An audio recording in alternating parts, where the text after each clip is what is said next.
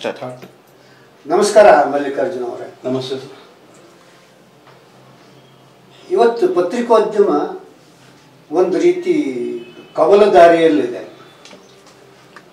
ಈಗ ಪತ್ರಕರ್ತರ ರಾಜ್ಯ ಮಟ್ಟದ ಪತ್ರಕರ್ತರ ಸಂಘ ಇದೆ ಕಾರ್ಯನಿರತ ಪತ್ರಕರ್ತರ ಸಂಘ. ಅದೇ ರೀತಿ ಕಾರ್ಯನಿರತ ಪತ್ರಕರ್ತರ ಧ್ವನಿ ಸಂಘ ಕೂಡ ಒಂದಿದೆ ರಾಜ್ಯ ಮಟ್ಟದಲ್ಲಿ. ಈ ಎರಡನೇ ಸಂಘಕ್ಕೆ ನೀವು ಅಧ್ಯಕ್ಷರಾಗಿದ್ದೀರ ರಾಜ್ಯಾಧ್ಯಕ್ಷರು? ಈ ಎರಡೂ ಸಂಘಗಳ ಮಧ್ಯೆ ಇರುವ ಡಿಫರೆನ್ಸ್ ಏನು? ಯಾಕೆ ಎರಡು ಸಂಘಗಳಾದವು? ಸರ್, ಒಳ್ಳೆ ಪ್ರಶ್ನೆ.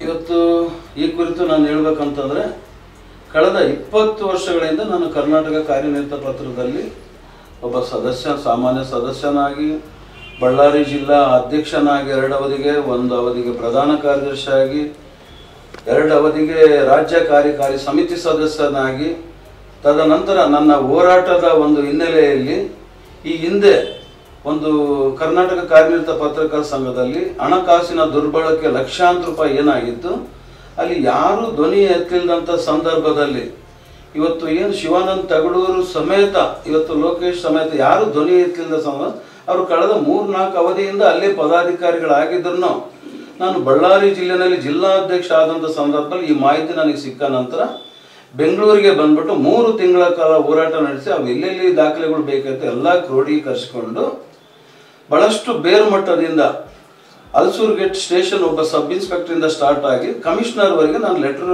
ಒಂದು ತಗೊಂಡು ಹೋದಾಗ ನನಗೆ ಬಹಳಷ್ಟು ಅಡೆತಡೆಯಾಗಿ ಬಹಳಷ್ಟು ಡಿಪ್ರೆಸ್ ಮಾಡಕ್ ನೋಡಿದ್ರು ಪೊಲೀಸರು ಕಡೆಗೆ ಏನಾಯ್ತು, ದೊರೆಸ್ವಾಮಿಯವರು ಹತ್ರ ಹೋಗಿ ಅವ್ರ ಹತ್ರನೂ ಒಂದು ಮನವಿ ಕೊಟ್ಟು ಬಂದಿವಿ, ಸರ್, ನೀವು ಹೋರಾಟಕ್ಕೆ ಹಿಂಗೆ ಬರಲೇಬೇಕು, ನೀವು ಸಂಸ್ಥಾ, ಹಿಂದೆ ನಮ್ಮ ಕೆ ಡಬ್ಲ್ಯೂ ಜೆಗೆ ರಾಜ್ಯಾಧ್ಯಕ್ಷ ಆಗಿದ್ದರೆ ಇಂಥ ಒಂದು ಸಂಸ್ಥೆಯನ್ನ ಡಿ ವಿ ಜಿ ಕಟ್ಟಿದಂಥ ಸಂಸ್ಥೆನ ಉಳಿಸ್ಬೇಕಂದಾಗ ಅವರು ನನ್ನ ಮಾತಿಗೆ ಮನ್ನಣೆ ಕೊಟ್ಟು ಒಂದು ಸ್ವಲ್ಪ ನನ್ನ ಒಂದೇ ಸಲ ನಂಬಲಿಲ್ಲ, ಒಂದು ಸ್ವಲ್ಪ ಟೈಮ್ ತೊಗೊಂಡು ನಾನು ಕೊಟ್ಟಿರೋ ರೆಕಾರ್ಡ್ನ ಪರಿಶೀಲನೆ ಮಾಡೋಕ್ಕೆ ಕೆಲವು ದಿನ ಕಾಲಾವಕಾಶ ತೊಗೊಂಡ್ರು. ಆ ಸಂದರ್ಭದಲ್ಲಿ ನಾನು ಕಮಿಷನರ್ ನಂತರ ಲೀಗಲ್ ಒಪಿನಿಯನ್ ತೊಗೊಂಡ್ಬಿಟ್ಟು ಕಮಿಷನರ್ ಒಂದು ಮುಗಿದ ತಕ್ಷಣವೇ ನಾನು P C R private complaint lodge ಮಾಡ್ಬೇಕನ್ನೋ ಒಂದು ಸನ್ನದ್ಧದಲ್ಲಿ ಇದ್ದಂಥ ಸಂದರ್ಭದಲ್ಲಿ ನನಗೇ ಗೊತ್ತಿಲ್ಲದ ಹಾಗೇನೆ.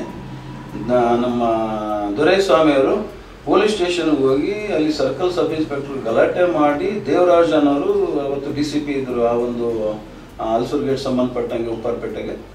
ಅವ್ರ ಹತ್ರ ಮಾಡಿ ಫುಲ್ ಗಲಾಟೆ ಮಾಡಿ, ನೀವು ಮಾಡ್ತಿರೋ ಇಲ್ಲ ಹೋರಾಟಕ್ಕೆ ಇರ್ಬೇಕಂತ ಅಂದಾಗ ವಿತಿನ್ ಒಂದು ಹತ್ತೇ ನಿಮಿಷದಲ್ಲಿ ಎಲ್ಲ ತಾರುಮಾರಾಗಿ ಎಫ್ ಐ ಆರ್ ಫೈಲ್ ಆಗಿಬಿಟ್ಟಿದೆ. ಆ ಫೈಲ್ ಆದ ನಂತರ ಒಂದು ಸಂಜೆ ನನಗೆ ಸ್ಟೇಷನಿಂದ ಫೋನ್ ಮಾಡ್ತಾರೆ. ಸರ್ ಎಫ್ ಐ ಆರ್ ಆಗಿದೆ, ನೀವು ಬರ್ಬೇಕು ಸ್ಟೇಷನ್ಗೆ. ಇದ್ರ ಬಗ್ಗೆ ನನಗೆ ಇನ್ನೂ ಕೆಲವು ರೆಕಾರ್ಡ್ ಬೇಕು. ಹಿಂಗಾಗಿದೆ ಅಂತ ನನಗೆ ಒಂದೇ ಬಾರಿ ಆಶ್ಚರ್ಯ ಆಯಿತು. ನಾನು ಇಷ್ಟು ದಿನ ಹೇಳಿದ್ರು ಪಿ ಸಿ ಆರ್ಗೆ ಹೋಗ್ಬೇಕಂತ ಸಂದರ್ಭದಲ್ಲಿ ಇಂಥ ದೊರೆಸ್ವಾಮಿಯವ್ರಿಗೆ ನನಗೆ ಗೊತ್ತಿಲ್ಲ ಅಲ್ಲಿ ಸ್ಟೇಷನ್ಗೆ ಹೋದ್ಮೇಲೆ ದೊರೆಸ್ವಾಮಿಯವ್ರು ಬಂದು ಈ ರೀತಿ ಮಾಡ್ಯಾನ ಅಂತ ಗೊತ್ತಾಯಿತು. ಈ ಒಂದು ಹಿನ್ನೆಲೆಯಾಗಿ ಇವತ್ತು ನೋಡಿ ಕಳೆದ ತೊಂಬತ್ತೊಂದು ವರ್ಷದ ಇತಿಹಾಸ ಇವತ್ತು ಕರ್ನಾಟಕ ಕಾರ್ಯನಿರತ ಪತ್ರಕರ್ತ ಸಂಘ. ಆ ಸಂಸ್ಥೆಯಲ್ಲಿ ಬೆಳೆದು ಬಿಟ್ಟು ನನಗೆ ಬಹಳಷ್ಟು ಹೆಮ್ಮೆ ಇದೆ. ಬಹಳಷ್ಟು ಏಳು ಸಾವಿರದವರೆಗೂ ಅಲ್ಲಿ ಏನು ಸದಸ್ಯರಿದ್ದ ರಾಜ್ಯಾದ್ಯಂತ ಬಹಳಷ್ಟು ಹೆಮ್ಮೆಯ ಸಂಸ್ಥೆ. ಕಳೆದ ತೊಂಬತ್ತು ವರ್ಷದಿಂದ ಆ ಸಂಸ್ಥೆ ತಂದೆ ಆದಂಥ ಒಂದು ಇತಿಹಾಸ ಇದೆ.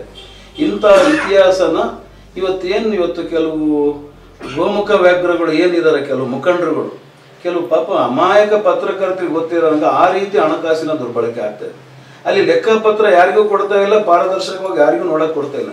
ಅಲ್ಲಿ ಕೆಲವರು ಏನಿದಾರಲ್ಲ, ಗೋಮುಖ ವ್ಯಾಘ್ರಗಳು, ನಾಲ್ಕೇ ನಾಲ್ಕು, ನಾಲ್ಕೈದು ಜನ, ಅವ್ರ ಸುಪರ್ದಲ್ಲಿ ಸಂಘ ನಡೀತಾ ಇದೆ.